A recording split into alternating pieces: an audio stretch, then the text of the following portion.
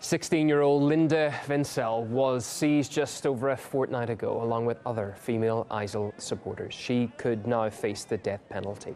Our Europe correspondent Peter Oliver brings us more. This latest video that's emerged shows 16-year-old Linda Wenzel, who's originally from a small town just to the, the northeast of Dresden in the east of Germany. Now, she's been uh, taken away on what's been described as a walk of shame on her way to a detention facility by the Iraqi uh, military, by Iraqi troops there. Um, she says that she wants to return to Germany, that she wishes she'd never joined Islamic State in the first place. We're starting to piece together together just how she got there. It's understood she was radicalized online when she was around 15 years old uh, before deciding that she wanted to go off to be a jihadi bride and went off to Iraq where that happened. Um, the question is now over where she will face more questioning. Will it be in Iraq or will it be in Germany? Certainly those in her hometown in Germany think that she deserves the chance to come home and face justice here. The girl is 16 and got into this mess at 14 or 14 and a half, via the internet or whatever. I think she should return. Everyone has the right to make a mistake and everyone should get their second chance.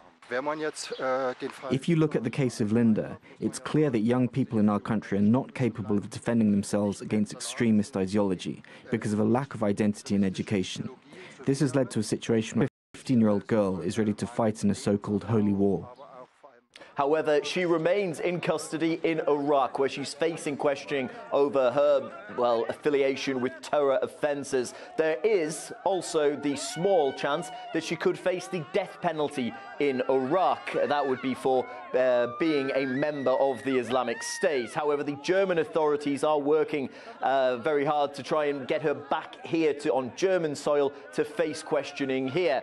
It's worth noting that um, there would be a full investigation as to what she, uh, what role she'd actually played while she was uh, with Islamic State. It's understood that she may well have been uh, part of a morality police uh, in charge of making sure that women were dressed in accordance with the, uh, the ideologies of the, the Islamic State group. And it's very likely that she may face a lengthy prison sentence here in Germany if she's found guilty of having uh, connections or if she's found guilty, certainly, of, of having fought for the Islamic State in any capacity. But Linda is just one of hundreds of Germans that went off to join Islamic State in one capacity or another. And these include many women um, and, and young girls as well who went off there with the express intention of being jihadi brides. Uh, certainly uh, Linda Wenzel, who turned 17 at the end of this month, wanting to return to Germany uh, following her experience with ISIL close up.